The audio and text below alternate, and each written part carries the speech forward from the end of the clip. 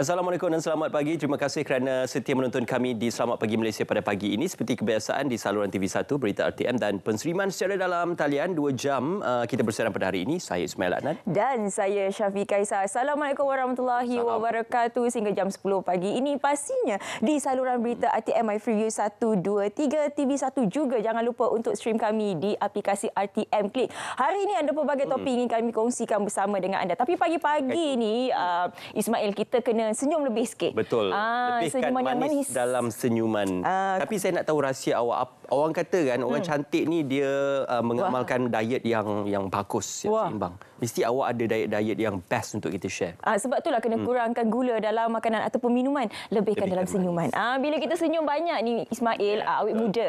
Betul. Ah. Awak masih 25 kan? Ya, saya setuju. saya terima. Banyak okay. diskaun tu. Jom kita tengok uh, apa yang dikatakan oleh Syafiqah tadi yeah. untuk kita melihatkan kepada bagaimana gula hmm. manis yang merosakkan. Ini antara kesan-kesannya. Hmm. Kita sedia maklum dan ramai sebenarnya sudah maklum. Hmm. Tetapi apa yang menjadi keutamaan adalah uh, melemahkan sistem imuniti badan, meningkatkan tekanan darah dan juga meningkatkan risiko diabetes. Hmm. Ini antara kesan-kesan negatif.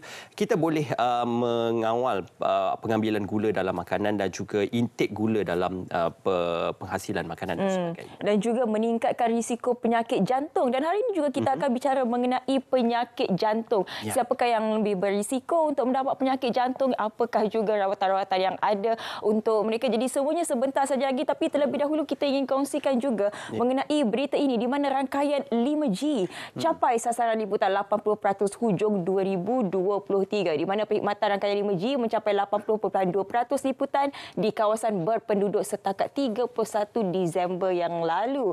Jadi Menteri Komunikasi Fahmi Fazil berkata ia selaras dengan ketetapan Perdana Menteri semasa semasa pembentangan belanjawan pada Februari lalu yang menyasarkan 80% pada penghujung tahun lalu. Okey, dan ini dipengerusikan oleh Ketua Setiausaha Perbendaraan dan juga pengendali rangkaian budak alih yang menandatangani perjanjian langganan saham SSA dan keputusan daripada task force itu akan dimaklumkan dalam tempoh yang tidak terlalu lama untuk menimbangkan mengumum peralihan dari satu rangkaian borong single whole network menjadi dua rangkaian dan pengumuman ini akan dibuat selepas Jemaah Menteri uh, yang akan bersidang kemudian. Jadi beberapa uh, agensi dan juga institusi di bawah Kementerian Digital juga di bawah Kementerian Komunikasi juga turut bekerjasama dalam merealisasikan hasrat uh, untuk capaian 100% 5G di seluruh Malaysia. Hmm, mana yang dimaklumkan semalam, Suruhanjaya Komunikasi dan Multimedia Malaysia MCMC kekal berada di bawah Kementerian Komunikasi.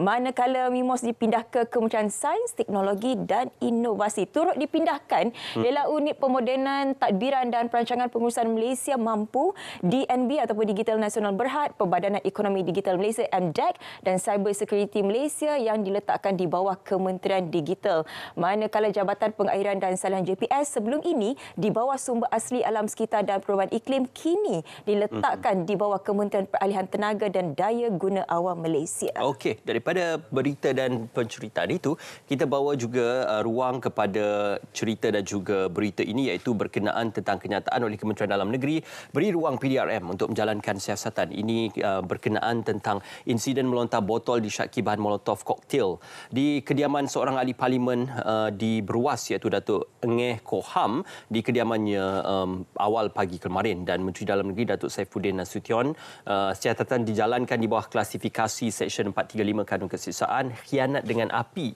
Dan Yang Berhormat Menteri juga uh, memaklumkan pihak forensik PDRM dan bomba sedang mengenal pasti motif dan juga suspek yang terlibat. Ya, jadi pada orang ramai yang uh, mempunyai sebarang maklumat boleh terus sahaja berhubung dengan uh, balai polis yang berhampiran. Okey, seterusnya juga ingin kami kongsikan di mana polis tumpas sindiket ekspor dadah pasaran Hong Kong. Jadi polis berjaya merampas pelbagai bahan kimia serta dadah dianggarkan bernilai 7.89 juta ringgit ya. yang merupakan sindiket pengedaran dadah antarabangsa. Jadi ini merupakan hasil perkongsian maklumat dan intipan dengan Biro Narkotik Hong Kong Hong menerusi serbuan terhadap sebuah kondominium di ibu negara pada Jumaat yang lalu di mana seorang lelaki Hong Kong dan seorang wanita Mongolia berumur 25 hingga 48 tahun ditahan.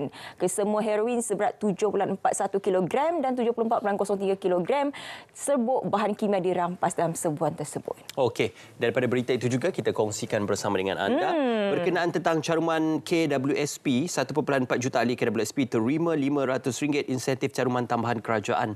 Ini dikreditkan uh, berjumlah 708 juta ringgit kepada 1.4 juta dan uh, dalam kenyataannya KWSP berkata uh, diperuntukkan kepada kalangan individu yang mempunyai simpanan KWSP berjumlah RM10,000 dan ke bawah dalam akaun satu masing-masing setakat 24 Februari 2023 uh, diumumkan semasa pembentangan belanjawan 2023 pada 24 Februari lalu untuk menggalakkan ahli KWSP mempunyai simpanan rendah dan menghampiri umur persaraan untuk terus menyimpan dan mempercepatkan pengumpulan simpanan persaraan mereka. Ya, sedikit ingin kami kongsikan mengenai keadaan uh, semasa di Johor. Ini berkaitan dengan banjir Johor di mana hmm. kota tinggi masih terjejas. Ya. 4,470 penduduk berlindung di 24 PPS yang melibatkan 7,609 orang. Sementara itu bagi negeri Pahang melibatkan 1,561.